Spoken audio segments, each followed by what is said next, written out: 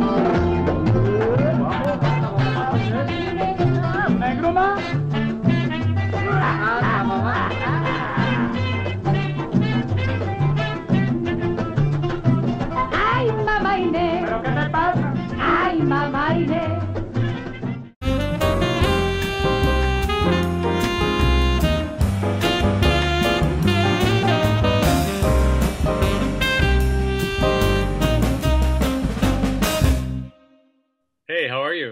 Good. I like that your studio sort of looks like mine.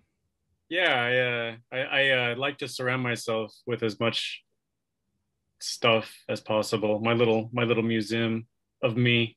Now, your wife has a studio too in the same house, right?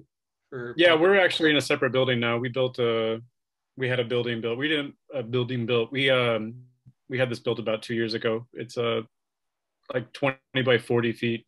Most of it's her studio, about three quarters of it is, and I, I have a, a room in the corner. So Okay. she's, she's a ceramicist, so it, she she uh she needs quite a bit more space than me.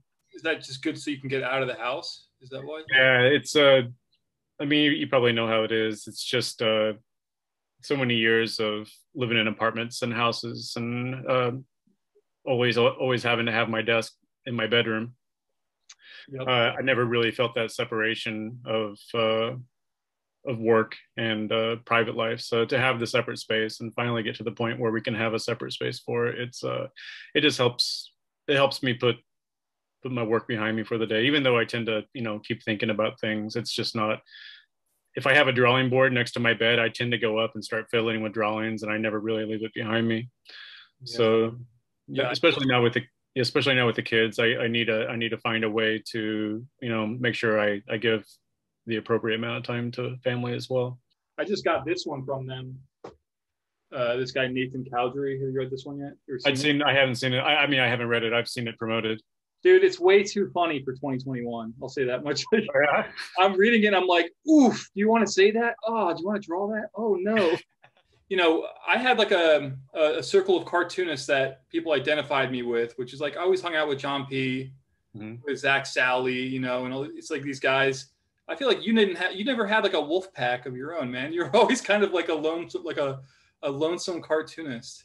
Yeah, and I, you know, no no man is an island, but I think it just stems from growing up, no growing up in a rural area. I'm, I'm accustomed to. it. I do have close cartoon cartoonist friends, a, a few guys yeah. from Kansas City. Uh, you may know Daniel Spotswood. Um, Oh yeah, of course. think, Yeah, yeah. yeah, Dan, Dan's Dan and a couple other guys, uh, Travis Fox, Hector Casanova, some guys from KC. Uh, since, since I lived in Kansas City for a few years, I was kind of we kind of had a little core group where we we get together and draw. But I was only living in Kansas City for four or five years, so that didn't last very long. We're we, we're, we're lifelong friends. We're still in touch, but you know, in Chicago, I was with Trouble, uh, Trouble Club. Oh, you were? I didn't know that. You were a part of that. Yeah, I was part of Trouble. I wasn't a, I wasn't a founding member, but uh, Lilli Carré invited me along maybe a year or so after they started. So uh, my last couple years in Chicago, I was part of Trouble Club. But as far as like guys I can always reach out to and share comics ideas and stuff with, I and especially since I've moved back to Northwest Missouri, I, I I'm probably the only cartoonist within 100 miles. Uh, uh, so I just I don't really have that that sense of like I guess like how you referred to it as having a wolf pack. A wolf pack. Yeah, I- yeah, you weren't I- like touring with like there weren't like cartoonists that you're always tabling with. You know, you. No, I always kind of with. there's a part of me that always wanted that, but it's not something that can be forced. You know, it's uh, Yeah. nothing Who much I can do about it. Who was in Trouble Club? It was L- Laura Park was a part of that, right? Laura Laura was part, Jeremy Tinder, uh, Grant Reynolds, Nate Beaty uh, were some of the core members. Lily, uh, Yeah. I'm trying to think. Then anytime a cartoonist would come through town, someone would be in touch with him. So Jeffrey Brown uh, participated sometimes. I think even Ivan maybe came once. Ivan Brunetti. Mhm. Uh, I remember Craig Thompson came, and whoever would pass through town could uh, join in. But there was the core group like Laura and uh, Jeremy Tinder, Grant Reynolds, people like that. Solid, fucking solid group of. Yeah, it was a it was a great up. You know, every Sunday we would get together. We'd drink some beer and um just draw for a few hours and and talk talk shop, and it was it was really great. And most of the uh, apartments I went to were were like ours, our studios. They were just uh, crammed with stuff. So there was always uh, a lot of stuff to check out, and it was um, it, it, gave me a great sense of community, something I didn't have much of before, and something I do. There are aspects of that that I miss uh, having moved back to a rural area. I, yeah. I don't have. I know I know the comics community is there, and and in the past year and a half, it's one of the things I've missed most: the opportunity to go to shows and get back in touch with that community.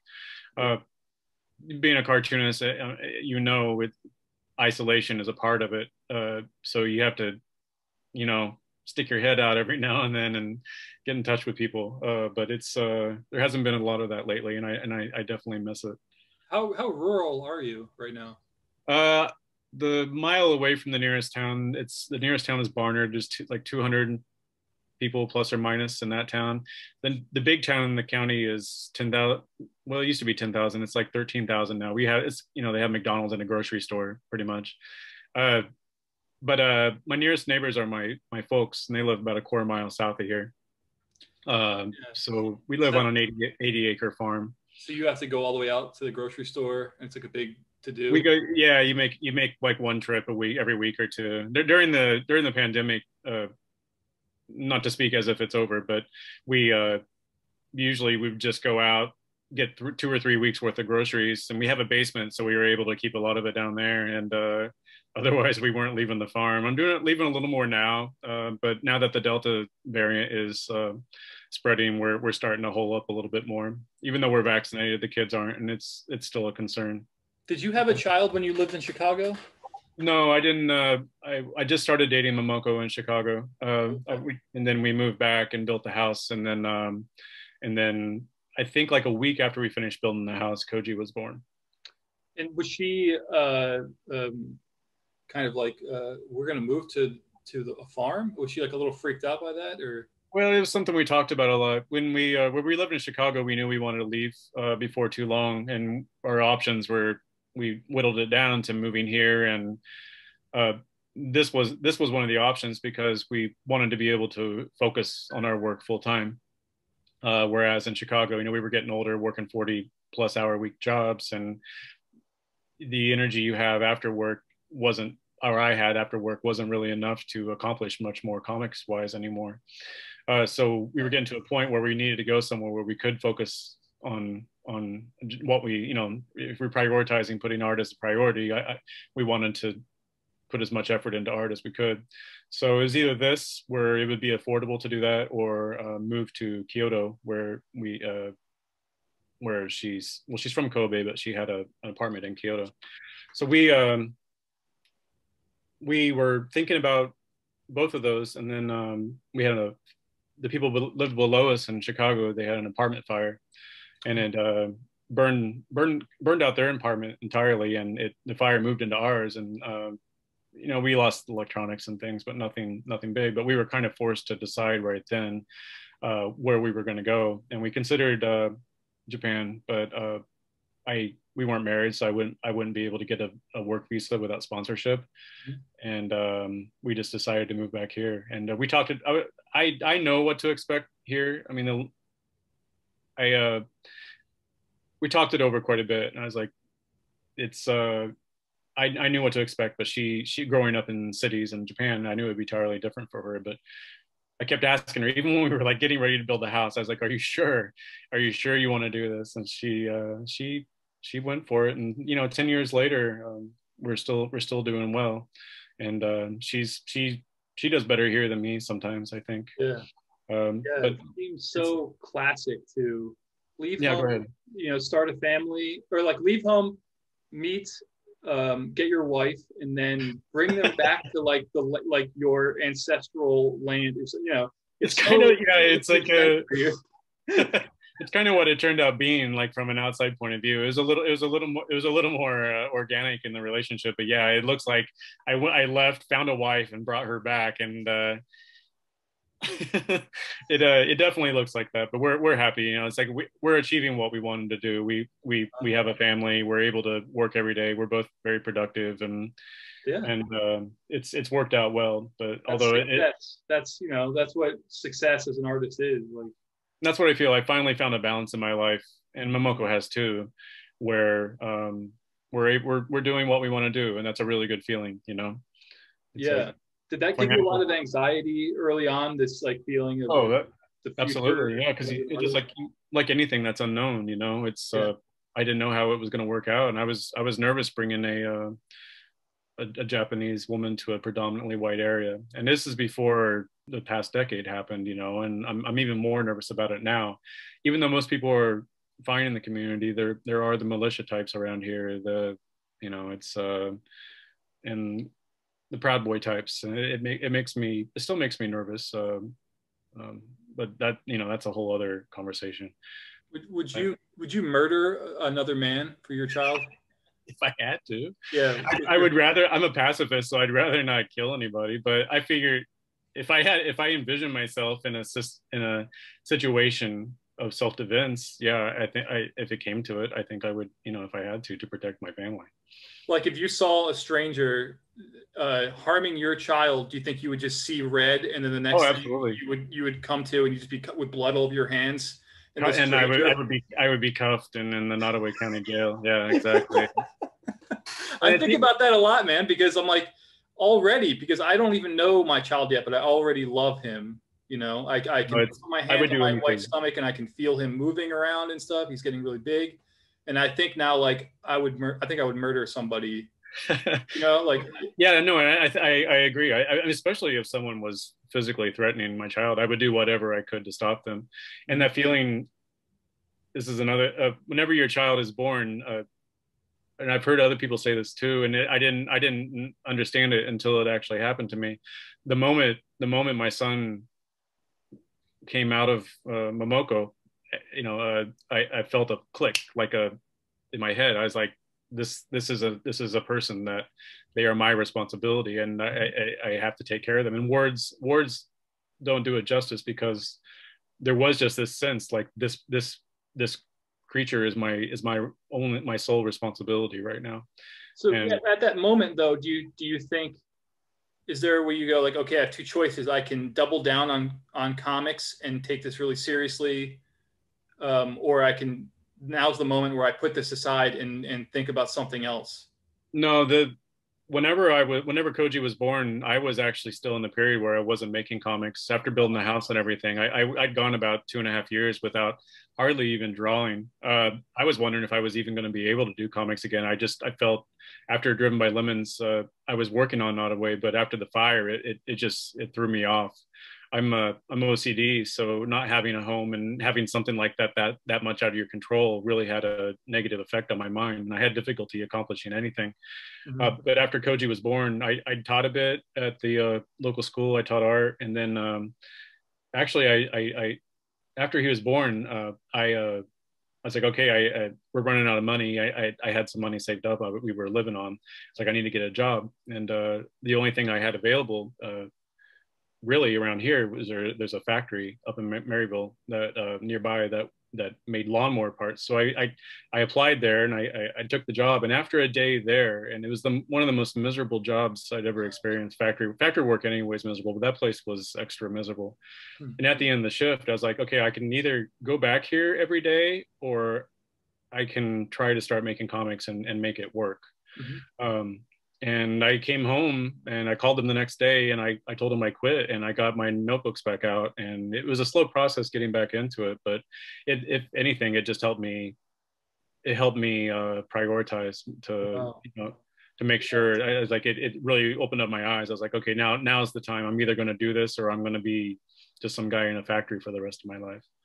Which, you know, if, if people have to do that to make it work. I, I- it always sounds when I speak like that, I'm being critical of, you know, No, no, no, no, no. There's nothing. I mean, you know, any way that uh, you bring in that anybody's bringing in money is totally legit. yeah you got to make a living you know it's, it's uh but uh it, it it straightened me out and i i started working on volume one like a few days later So you had just been writing Nod Away at that time.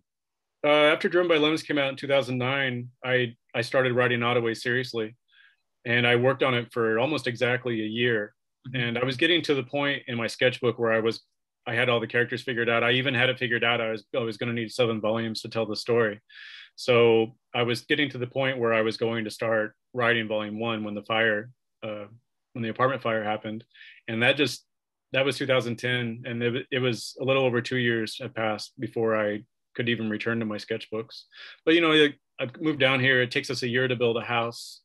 Uh, then Koji was born, so it was a couple months after he was born that I started. I I started like realizing that I needed to I needed to figure it out how to make it work.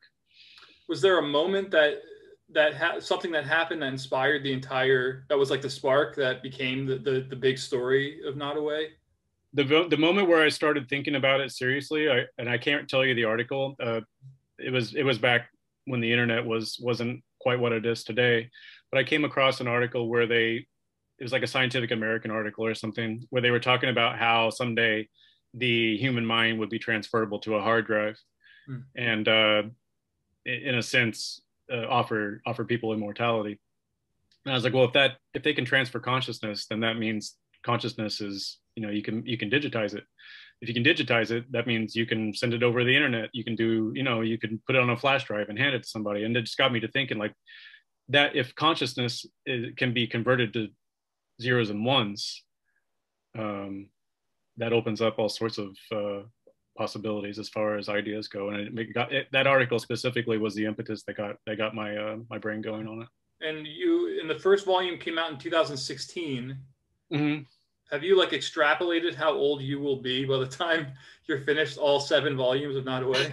It took me six years to do volume two, but that's because it's like almost 400 pages, and to do oh my any God, it is. 300, 370, yeah.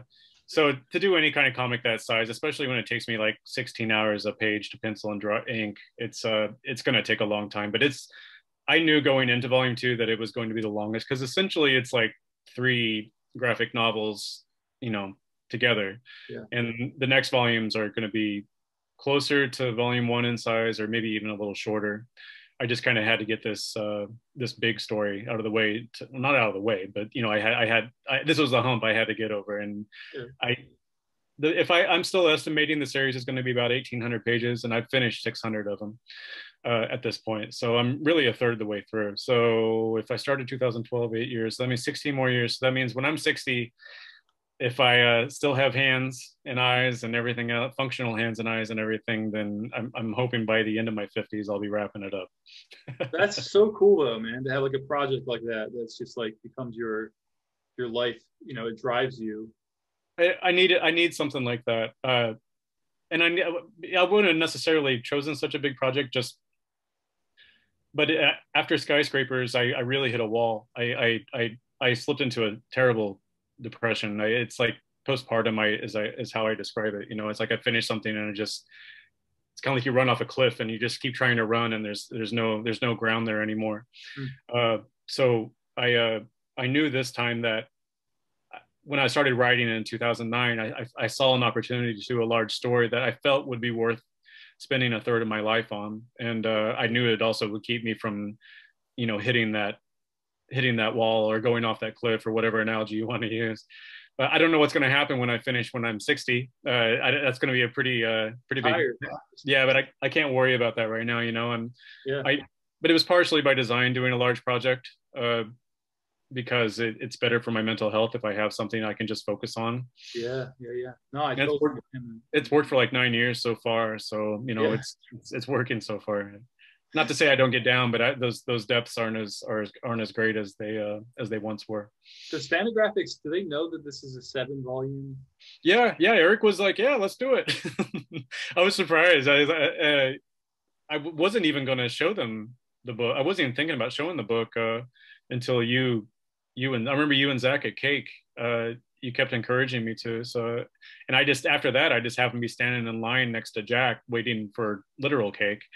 Uh, and uh, she asked me what I was working on, and I was like, "Well, actually, no and Zach said I should show you." So uh, I did, and it's just kind of rolled from there. And uh, they they seem into it. I know I know it's a, a big investment for the publisher to to take a risk on a seven volume series, but um, Eric's Eric's been Eric and everybody else there. They've been nothing but supportive so far, and you know they no, you know, even if I was like the last book took six years and two years more than I expected, um, it's they were like no hurry you know just do your thing. And that's what i really like about working with independent publishers. Money isn't such an issue. Deadlines aren't such an issue because there's not as much wrapped up in it with all the promotion and everything. It's just as an independent cartoonist i i take i take the time i need. I put the effort into it that i need to and uh, get the finished product that i'm aiming for rather than rushing something at the end to make sure that you know it meets it meets whatever specific deadline are, are they going to reprint the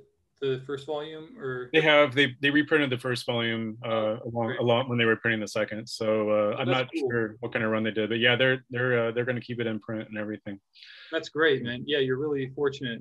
I mean you know you have a publisher that's going to support you through that whole series and it's you're sort of like the you're like the george r r martin of uh graphic novels right now where you're you're building this whole fantasy world and people are going to be ready, like ready for the last volume, and then you're just going to dip out and not do it. no, yeah, I'm just I'm just going to disappear. yeah, it's definitely uh, that. I mean, I guess the Martin stuff is definitely in my head. Like, at what point?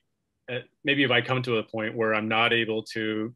I mean, I'm getting older. You know how it is. You, mm-hmm. I, well, I don't know if you know how it is. You're such a prolific bastard, but I, uh, I, I'm not as I'm not as uh, I'm productive, but not as much as I was when I was younger. I don't mm-hmm. think so. I, I worry about.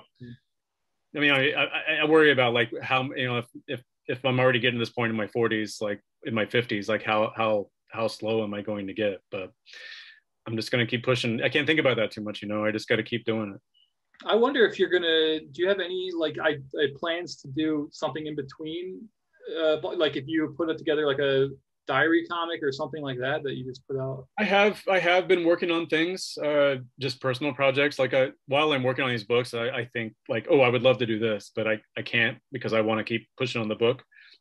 Or I could, but I, I tend to get distracted easily, so I make myself stay away from distractions. Yeah. Uh, but I've been doing I've been doing little paintings and drawings and sketchbook stuff on the side. Like I I knew I knew I've been having so many problems like processing the last few years of social change and stuff. So I even you may have seen some of this. I've even started doing because I was getting pretty low, and I like well, driven by lemons uh, made me feel better about what I was going through. And this is this is where I've stopped. I've only got about ten pages done, but uh, it's uh, it's in the vein of driven by lemons, uh, where uh, I'm not in the same psychological state mm-hmm. as I was then, but depression I, I have i've said i haven't been that low but i've still i've still dealt with depression. And I, I, find that working on stuff like this helps me work my way out of it. I've been feeling better. And of course i, I tend to do less in the book when that's the case. So it's something i just plan to return to when i kind of need to work through problems. And comics are really a, like that for me. It's it's a it's a way of problem solving on paper. Uh, yeah. That would be even, cool to do like a little Fantagraphics Underground edition of like that kind of weird yeah, yeah, with Fantagraphics or whoever might be interested in. Now that now that Chris is closing up shop, uh, and Driven by Lemons has been out of print for like a year or two, year a year I think now anyway. So, you know, it's a book I would like to keep in print, but then again, it doesn't have a huge audience. So what what what why would what incentive does a publisher have to print something like that? I mean, Chris Chris was taking a you know a leap by publishing it in the first place, uh, and it you know it printed a couple thousand copies and we sold them and I'm, I'm happy with how it went. And I, it's a book I would like to keep out there, but how practical is that? I don't know. But um, it's a, you know, even if like a book like this, the sketchbook, even if it never gets published, it's still a way of me working through, you know, problems that I, that yeah. I have uh, obstacles in life that I can't quite wrap my brain around. How many sketchbooks was uh, Driven by Lemons uh, in, re- in reality? How many was it drawn in? Just one? It was just one. Uh, um, the the plan was after I did it, I got it over here in the corner. Uh, in my in a glass case. The glass book is just a facsimile of a real sketchbook. We yeah, Chris and I once once I showed it to Chris, his uh, his idea was like let's just reproduce it as closely as possible. I think the only thing that wasn't on it was the the moleskin black band that holds it together, and I think we even looked into doing that, but it wasn't cost effective. Um, but uh, yeah, we uh, we tried to make it as close a facsimile of the original as possible you know, I gotta I got to say that I think that now it would do better because there is so much more interest in exploring and talking about mental health uh, that I feel like it would be more successful now than it was when when it came out, which was you know. If it was to be reissued, then yeah, I mean, because I, I the reason I, I talk openly about mental health because I, there's so much stigma wrapped up in it, Mhm. and I think people tend to think that when you talk about depression and stuff, you're you're you're you're trying to get attention for yourself. But really, I'm just trying to talk about it and normalize it. And a book like Driven by Lemons, yeah, I, I think the people that have contacted me after reading the book are like I've I've had similar problems, and this is very very close to the experience I had, you know. And people people thank me for making it, and that means a lot to me as an artist. I think it's what any many artists uh, strive for is making that kind of connection with people. And if you can make make life a little bit easier for others, then that then that's I consider that to be a success, you know. And Yeah, yeah. yeah and so and it's been good these this past decade especially uh, to to see the conversations about mental health uh, becoming more common and people being a little more open about it of course you're getting the backlash you're getting uh, you're getting the people who you know like you know uh, suck it up you know pull up your pull up your pull up your bootstraps kind of talk Mhm. but it's just it's not how mental health works it's debilitating it's if i was bleeding from the eyes and ears then people might take it seriously but because it's in my head they can't comprehend what i'm personally experiencing and what people with mental health issues are experiencing so to put it on paper uh, it definitely helped me and to know that it helped other people uh, was beneficial to others uh, is is is uh, validating for me uh, yeah. Um, but I don't know. It's also such a it's also such a dense book. I I don't know if I don't think I'll ever find a wider audience um, yeah. than it already has. You know, I don't know. It's it's hard to say, and any publisher would have to take a, that chance, and not many publishers beyond like AdHouse or possibly Fantagraphics will be willing to take that chance. Yeah, yeah, yeah. Um, was Skyscrapers of the Midwest your first comic, or did you do stuff before then? my first i started self-publishing with a book called fun it was a three-part series 24 pages each the first comic i ever made was fun i didn't even start small like with like one panelers or three panelers or anything i just i, I decided i was going to make a make 72 pages worth of comics and see what happened and uh it was it was very much the effort of a person trying to figure out the medium and uh Hmm. and I've never uh seen those before. Did you self-publish them? I self-published. They were yeah. I uh, I worked at a place uh, uh, where I was a production artist, and while while people went on lunch break, I would sneak into the coffee room and and make coffees, and they would always jam on me. So I'd always be panicking. My boss would come in, so I'd be in there like taking apart the coffee machine, trying to get it get it sorted out before I got caught. But I never got caught, and it yielded like 50 copies of each. So I think three issues, 50 copies each. I gave them to like friends and uh, family, and I sold a few in like record shops and comic shops in Kansas City, and that's actually what led to me being contacted by the KC Star uh, to start working for them. I was a weekly cartoonist for them for many years, Mhm.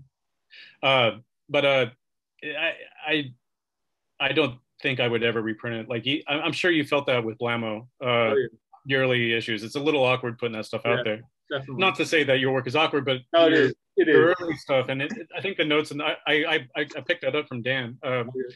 and uh, in the notes in the back, I, you know, that I, I think that was a, a great way to go about it, like explain yourself. I'm not, I'm not this angry or negative anymore. You Yeah, know, yeah, yeah. I think I would have to have a book's worth of like explaining the book that came before it in order for me to put something like that out there, and it's just not worth it because fun. I mean, it was an experiment. It was me trying to figure things out, but it's, it's not worth, it's not worth publishing. Yeah, well, I Uh, kind of had to do that with Blammo because I because Blammo is still an ongoing series. I'm still I'm going to put out a new issue soon. Sure, I saw. So I'm like, and people are like, well, yeah, but they want to get all the material. They're going to start jumping in on a series. They want to get all of it. I, I literally cannot look at this story. I don't. I was, I was, I was similar when Chris decided to uh, publish uh, the collection of the Kansas City Star stuff. Is like out of out of uh, I don't even know how many strips I did. I did it weekly for like five years, so I guess there maybe 300 strips. There were probably only a third of those were actually reproduced because some of them, well, they're either too topical or too region, you know, specific to the region, or Yeah. just flat out bad, you know. Yeah. And I was like, I was like, there's no sense in reproducing this. So Yeah, definitely. Yeah, And I yeah, same. And I I was also a weekly. I didn't. I I forgot that you were a weekly cartoonist for a while.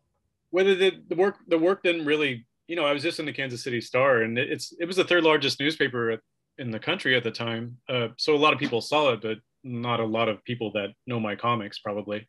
Um, so uh, it was great to have an audience, and it was great to have that kind of deadline. And really, that that deadline forcing me to make something every week, regardless if I had the energy for it or not. Uh, it does a lot for you just doing the work, you know. And if I'm sure you, I'm sure you feel the same way. Like if a younger cartoonist approaches me at a show and asks, "How do I, how do I, you know, do this? You know, how do I, how do I break into the indie comic scene?" Uh, it's just you do it. You know, it's just yeah. produce as much as you can. Yeah look at the bad stuff try to understand why it's bad and don't do that again mm-hmm. and uh, and your your stuff will improve well so i i've been on record as saying my weekly strip paid me $50 in the beginning and then i did it for seven years and by the end of it i was up to $75 how, how much money did you get a week? It was a full color strip. It took me about 10 hours to do every week. Mm-hmm. and I think I got 200 a month, so uh, $50 a strip. And it actually, I think it actually may have gone down a bit towards the end because the star was running was running into budget issues. And i was like i want to keep doing the strip. I don't care. Just you know pay me whatever it wasn't at that point it wasn't even a well even with 200 bucks a month you know for 40 hours worth a week that's you know well below minimum wage so that's 1970s uh, money that's what they were paying yeah. in the 70s never, never so it definitely wasn't it definitely wasn't about the income, you know, and and, and I, I think that's as an as an artist or a cartoonist, uh, that's something you have to keep in mind, especially starting out. It's uh, and not just exposure. I I, don't, I wouldn't take a job like well, I can I can get down to I, we can talk about exposure jobs later. I've had a few of those offers to be great for exposure type things, but uh-huh. but this was my own conscious decision. It's like this is a way for me to work every week with a news in a medium which I've always been passionate about and uh, money's not an issue for me. You know, it's like yeah. they're like, hey, here's a space, here's 50 bucks for for the space each week. Do what you want to. And I had an editor that towards the end of my run, I was getting towards Driven by Lemons, and I was having some pretty pretty serious psychological problems, and they got really. In hindsight, they got pretty experimental and strange, and he he stuck by me to the end. Hmm. Um, I was always grateful for that. And you were young too at the time, so fifty dollars is a lot more yeah, I mean, and I had a, I had at that time I was out of college. I went to I went to school to study illustration, but I graduated and I found a, a production artist job in a position in Kansas City, and it was kind of a painful, mindless job, but it, it paid decent money, more than I'd ever made in my life. You know, I was like I was making like twelve bucks an hour, and I was just I felt rich. You know, yeah. after years of delivering pizza and washing windows or whatever else I had to do, I was wealthy. So two hundred bucks is just you know it's just something else, something extra that I could I could uh, buy some extra CDs at the end of the day. Totally, because I I when I you know I, I never had a real job. I worked at Panera Bread and Einstein Brothers forever, and I think when I quit Panera Bread, I probably made nine seventy five an hour there. So then I but I also had my strip, which was seventy five dollars a week. So like those, you're you know, it, man. yeah, yeah, and then like whatever other money I could get from my cartooning, like I would do like I would I would go out and do like a comics reporting on like different openings and things like that around town for the paper and just try to get a little bit extra money that way. But you know, I was broke. Oh, and also I worked at. Uh, now I'm pulling together all my income. I also worked every Sunday at Kilgore Books. So oh yeah, that's that is was, that your connection with Kilgore? Yes, that was like seventy five dollars a day just to work there on Sunday.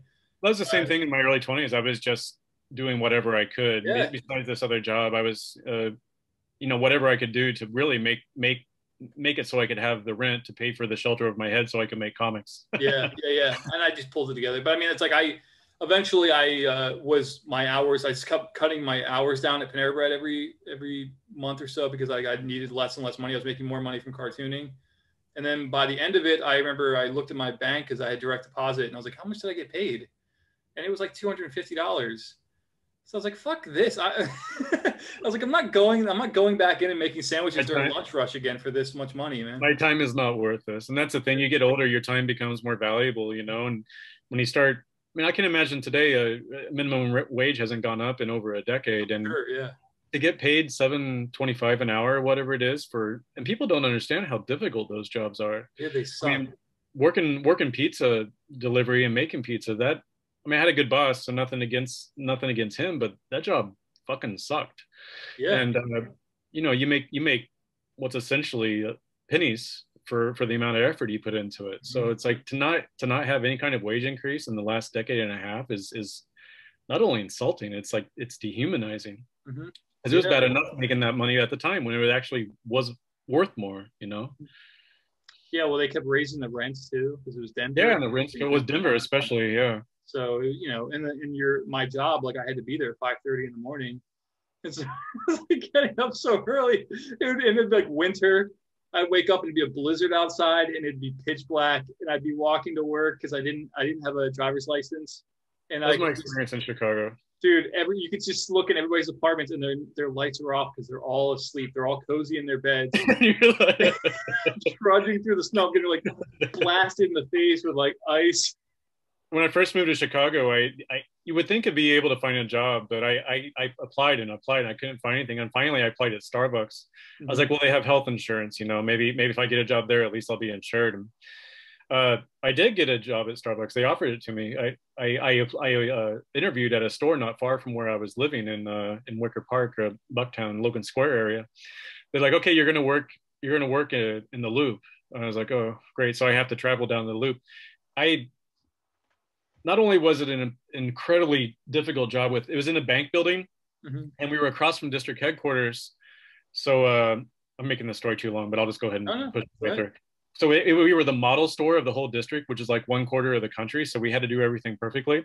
So then even for those reasons it was a nightmare job and it was in a bank building so everybody that came down were these wealthy bankers that never tipped. Uh-huh. so it was a it was a shitty job anyway but every morning i had i would hop on a bike and ride a half hour down milwaukee to the loop and there would be like snow and rats the size of dogs and and people throwing things at me and i'd be like i'm doing this at 3.30 in the morning so i can make 725 an hour you know or whatever it was plus minimal hardly any tips and that's that was another uh, wake up for me i was like i really need to make comics work because i can't do this much longer Yeah, yeah, yeah. So so similar to me. I was just like, I can't, you know, I remember, yeah, that that same feeling is like a desperation. Like I need to make comics work because otherwise, I'm gonna be here at Panera Bread, and I don't want to be a manager. Like what? yeah it's like it's like management does not appeal to me it's like i want nothing to do with this yeah. The older i got the less i could deal with management too you know whether they were nice or not i just i don't like i don't like doing what people tell me to do I, i'm Uh-huh. i'm i'm too i'm too independent of a mind and I, I start getting an attitude and it starts getting me in trouble, you know. So I just like I have to make this work. And even so now, like I I you know, you know, with independent comics, there's there's not much income in it, but I'm happy, you know. It's a so it, it's just and then jobs like that really help put things in perspective. It's like you want to make it in independent comics, go work at Panera Bread or Domino's Pizza for a couple of years. That'll Yeah. that'll that'll get you to do it. But you sell your originals too, right? That's another. That's source of income. that's one of the main ways I have income and that and I work. originals are beautiful, man. Because you still work on paper, and, you, and you use blue pencil. you know i can see the, i can see the benefit of why people work on tablets uh, because when i do cleanup especially for or I, uh, on uh, on my on these pages it just it streamlines the process so much and if i i don't do much freelance illustration but what little i do sometimes i will do it on a tablet just for fun it's easier but at the same time i, I like if i'm going to put out for my personal work and this is how i view it is my personal work i'm going to do it the way i feel it needs to be done which is still physical media you know uh, pen and ink on paper and i nothing beats it for me i i uh, I just don't care to I don't care to draw on the tablet. I, I can see the benefits and I can see why people on a deadline would do it, but it's not for me. Yeah, I'm the same. And Jim, I always think about Jim Woodring. He said, you know, you labor and labor on this drawing, on this art, and at the end of it, then you have nothing. Like he's like, when I, I I work really hard on these pages, and at the end of it, I have this beautiful piece of art that's like a real. Page. And I'm the same, and and because I have to make a living by selling these things, uh, exactly. Yeah. I you know I, I I could sell prints, but I'm not going to be able to sell them for what I can sell an original page for. yeah. So if I have to make this work, I have to keep ma- I have to keep producing the physical pages. You know, I was talking to a class at the Kansas City Art Institute, and uh, they were asking like the standard questions, like how do you make a living at this? I was like, well, I I sell my art, and looking across the room, everybody's sitting there drawing on iPads or whatever, and I realized I said the wrong thing because these these these kids. Uh, I start starting to sound like an old man. Kids these days, uh, but yeah, I felt I kind of felt bad for him because yeah, it's it's a nice way. It's a way to draw quickly and and to correct quickly and et cetera, et cetera. But at the end of the day, what do you really have to show for it be beyond a, a file, you know? Yeah. And we're from, I mean, we're two guys that are like inspired by a lot of like historic cartoonists and the, the, Uh-huh. the craft of being a cartoonist in this like classical sense, which involves using the materials that, that our favorite artists used. So yeah I, when i first starting out i was i would look at the artists i respected and uh, and you know that's what that's kind of what drew me to nibs in the first place when i was a when i was a, a younger person just that and they look neat you know the idea of dipping ink and the whole process really appealed to me and uh and uh, yeah it's uh i don't know maybe if i was going to school a freshman in freshman in college and art art department right now maybe maybe it would be different. Maybe maybe i would be working more digitally but it's, it's i'm sure it's a generational thing as well. But uh, as it is i'm not going to switch midway uh, for something that i don't even really care for. Do you do you pencil out your entire book before you ink it? Is that- uh-huh. yeah I, and i do type pencils too. I can't i can't ink unless i do type pencils. So basically i draw the book twice uh, and which isn't uncommon but i've tried to loosen up with my pencils and stuff and and with certain sequences like abstract sequences and stuff i'm able to be a little more free but i'm when it comes to characters and stuff uh, i think i was telling you about we were eating we were eating a meal one one day after uh after Col- after the columbus show uh and uh well that's a uh, that's a tangent. I won't i won't go down that road. What- But yes, I- your- how you work? You were asking me how i get all the faces to uh look the same. look the same. And as like it's be, it's because like if i'm doing a 370 page book if you draw a character that many times they're going to change you Mhm. know and it's it's usually just very small changes like the eyes or the eyes come a little closer together or maybe the nose drops or maybe it's a little little larger or something but uh after drawing a character for 360 pages uh plus or minus uh they change a lot. So with now I can once I finish the pencils, I can go back through and make minor adjustments, or I can just do it with the ink that way. Uh, if I inked right from the get go, then then I would have to do again. It goes back to like compulsion. I, I it, it doesn't bother me so much when other cartoonists I see. I as a cartoonist I can see the changes in other people's art, but it doesn't bother me. Mhm. Uh, but in my own, I feel this need for it to be consistent, and because because I have this like compulsive need for consistency, uh, I, I I pencil everything first. Yeah, but when you're penciling it, you're writing it, right? I mean, that's also the writing process when you're penciling it all out. Or It do you have is. it all scripted first? I don't write a script, but I do. I don't. I don't. I don't write as I go. Uh, in some sections, especially, it depends on what what part of the story I'm working on. Uh, the uh, the guy wandering through the desert in the first book, that stuff I, I I pretty much I have an idea of what I want to happen, but I I allow for more uh, serendipity in that in those stories. But the story where the stories well, in the first book on the space station, I I since I want to tell a very specific story, I, I know there are points that need to be made. Mhm. So I do at least write to the, I don't write it to death, but I do write to the point where I make sure I follow a certain path or arc to make sure I get from point A to point B without missing anything.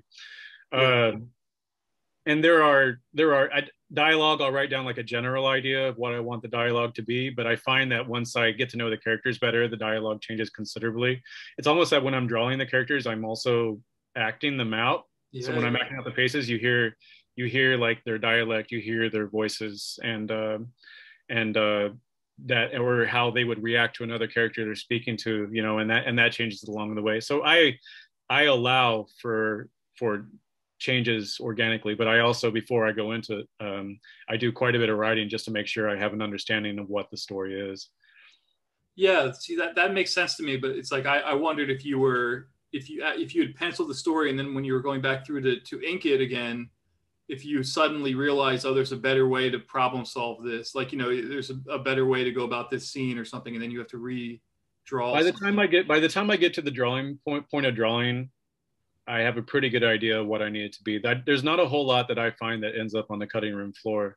Mm. Uh, there are pages, uh, definitely panels here and there, but mainly pages. Like there's a 10 page sequence that I did in this new book that I, you know, it how it takes a month to draw 10 pages just about about. Uh, but once I went back to look at it after after uh, a few months, I had inked it too. I just I was really unhappy with it. So I went back through and redrew and restructured that 10 pages to a point where I felt it was better. But uh Wow. sort of happens occasionally. Um, but for the most part, uh, like I said, I allow for wiggle room. But and if I'm going back through and inking, uh, maybe the dialogue looks a little clunky, or I could do something different. I might change dialogue, but otherwise, I don't. I don't change the images too much. Uh, once it's down, it's it's to a point where I'm happy with it. On, Yeah. With pencil. And you draw nine by twelve.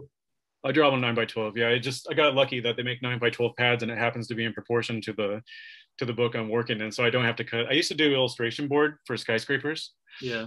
and uh, it's a little bit. It adds a couple extra steps, a couple more extra steps than I would want to uh, do anymore. I, I mainly work on Bristol now.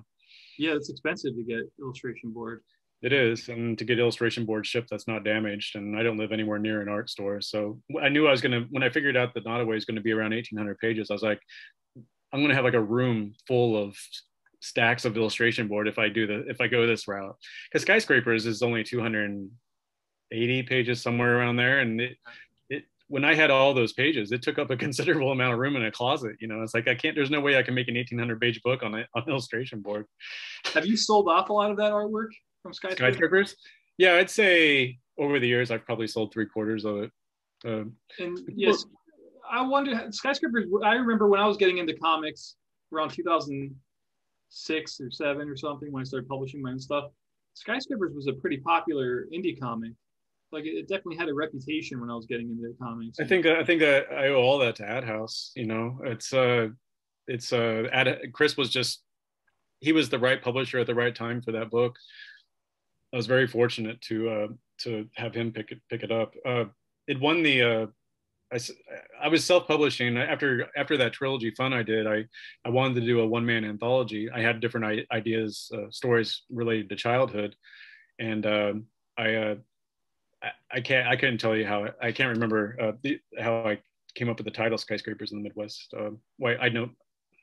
Okay, I'm going off on a tangent again. Sorry, I, I, I tend to do that. No, that skyscrapers. Uh, the title it came from me. Uh, I was always kind of obsessed with grain towers growing up, and they were they were the skyscrapers of my childhood. So since the anthology was childhood stories, I named it Skyscrapers of the Midwest. But um, I had uh, I did that first issue, and I heard I was like, okay, how can I how can I get this? I was happier with it than I was with fun. I was like, okay, I'm I think I'm ready to show people my stuff beyond friends and family, and uh, I was trying to figure out a way I could get a broader audience because it was before social media. Uh, you know, you still had to kind of like get get books into people's hands. Yep. Um, and the Isotope out in San Francisco uh, had the mini comic award, so I sent it out there, and uh, it just won. It happened to win. I got I got really fortunate. Uh, and uh, a few months after that, I, I'd finished.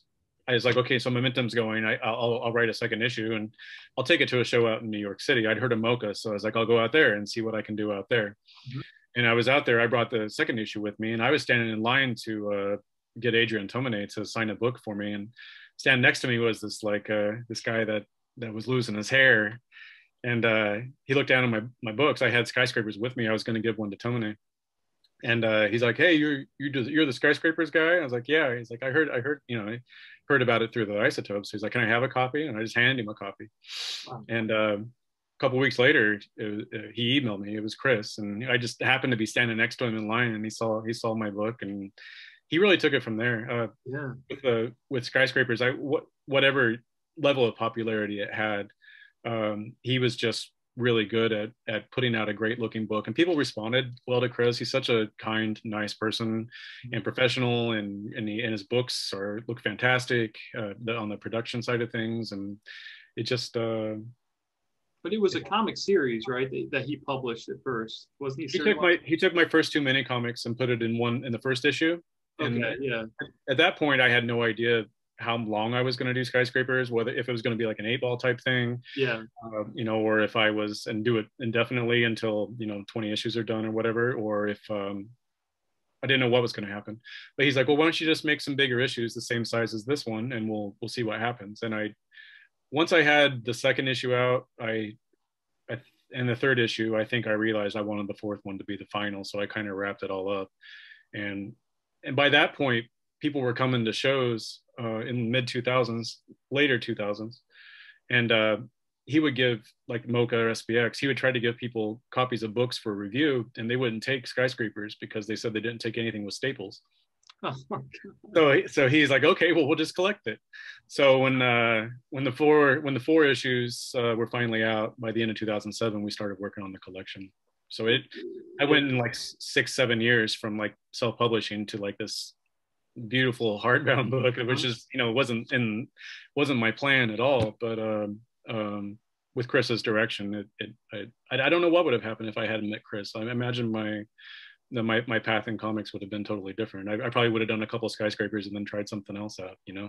Was that? Did you have uh, the idea of of skyscrapers, um, be, like forming a bigger story when you were working on it, or did you think you were just doing a comic of? Initially, it was just a one man anthology. I had no idea it was going to turn into a bigger story. But once I realized, once I had the opportunity with Chris to create more issues, yeah, I uh, I saw the opportunity to connect some of the dots from the first two mini comics and then and then make a little bit of a bigger story out of it. But it was never intended to be you know a graphic novel. That wasn't my intention from the beginning. It just it kind of ended up that way. Yeah but you were just kind of throwing in all sorts of stuff from your childhood and then yeah I, and i had plenty of things i wanted to write about and you know the fantastic aspects. It was it was fun to it was fun to do and it was also i found like i was telling you earlier uh, comics tend to be cathartic for me or maybe i wasn't telling you that earlier.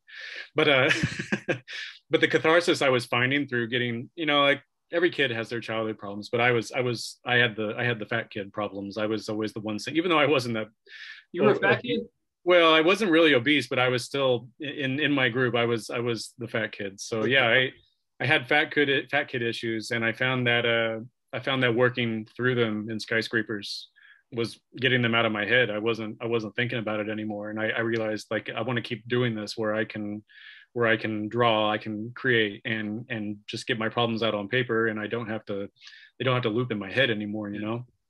And uh, that's what led to driven by lemons. I was just i was I was treading, barely treading water, barely keeping my head above the water. And I was like, I have to find a way out of this. And mm-hmm. I was like, well, skyscrapers took care of this problem. Maybe I can do something and take care of that problem. And that's how man, of... how fun was that in that era when you were doing skyscrapers and like you could go to conventions and people were like, oh, it's like all of a sudden thing. like you had something that you were known for as a cartoon. It was it was uh you know to be an artist uh, it was great to to have that kind of audience and to connect with that kind of audience uh it was uh you know, I don't. I, if I if skyscrapers was to come out today, I don't think I would have had the same experience. No, no, would, no, no. Yeah, it was just right for its time. I think. Yeah, I think so too. It just uh, it all came to to a head in the right way. And and it was turned into a play too, wasn't it? Oh yeah, it was in uh, Columbus actually. Uh, the Available Light Theater adapted it. A guy named Matt Slaybaugh. He uh, he he flew actually. He flew out here from Columbus and he spent a few days with me, just interviewing me, asking me questions. And I walked. It was right after the fire, and we just moved back, so I had all this time. So we just walked around the farm, and we would talk about, you know, childhood stuff. And I was showing my grandma's house, which is just right down the road, and all the things in the book. And and uh, he uh, spent a few days, and he went back and took took a few months to write it. And, and yeah, I uh, I uh, I went out there to see the show uh, one one for one weekend. And it was it's a strange of experience as you can imagine. I always think of that Harvey the Harvey Pekar movie. Do you remember oh, yeah. what that was? What American that was? Splendor. Uh, was it? Yeah, no, American, it's just American Splendor. Wasn't American oh. Splendor? uh, but yeah, it was kind of that experience. I, I yeah, almost like an out of body experience. I didn't know how to. There and the people on stage playing you and your brother. What? So I, I want to know: Are you? Do you take any break in between uh, Nod Aways, or are you working on the next one already? After I finished Volume Two back in February, mm-hmm. I took about two months where I uh, I didn't do much at all besides read, uh, watch movies, and things I wouldn't play video games. Things I wouldn't really let don't have a whole lot of time for. I mean, I have time to do those things, but just in excess. I love to sit there and read and listen to records. That's like my favorite thing in the world. And you know, when you have to work every day, it's um, well, I don't want to call it work, but when you're in the studio, when I'm in the studio every day focusing, um, it's not something I can do so much. So yeah, I took a, two, couple months just for mental health to allow myself to reset a little bit. Mm-hmm. But uh, back in May, I started writing again, and uh, you know, about three months in, I'm I'm the the stories the story's starting to, starting to take a, a more solid form. like I, ha- I have I've, all along I've had an idea of what needs to happen in the story and who the characters are, mm-hmm. but until I sit down to write, I a lot of things I don't anticipate happen, and that's my favorite part of writing, is is uh, allowing for the surprises, you know, the serendipity. So the next, so Nod Away Volume Three is in a notebook somewhere right now. It's not on. in a notebook, and uh, I also kind of got in the habit of I do some typing too because I found it's easier to edit with typing. If I have I have sketchbooks where I do a lot of the original notes in writing, but then I'll start writing in the margins the notes, and then I'll put notes on top of the notes. And before long, it's barely even legible for myself. Uh, so uh, while there are sketchbooks and notebooks full of stuff, I've I've I just started like typing stuff up in the computer just so I can copy paste, move this around. It's a little easier for me to read. Maybe it's me getting older and and needing needing uh, needing more clarity, um, possibly. But uh, I feel a little a little weird working on a computer, which is strange because I've been like writing in notebooks so long. But uh, it's just I, I pretty much my process is I, I do whatever I need I need to do to make it work. Yeah, well, that's cool, man. I'm really excited for the second volume of Nod Away. I'm gonna have Eric Reynolds send me a copy. Please and, do. Uh, I'm excited for it, man. But I, I took up uh, more time of yours than I even intended, so I, I'm gonna let you go with an apology and a thank you. Bye.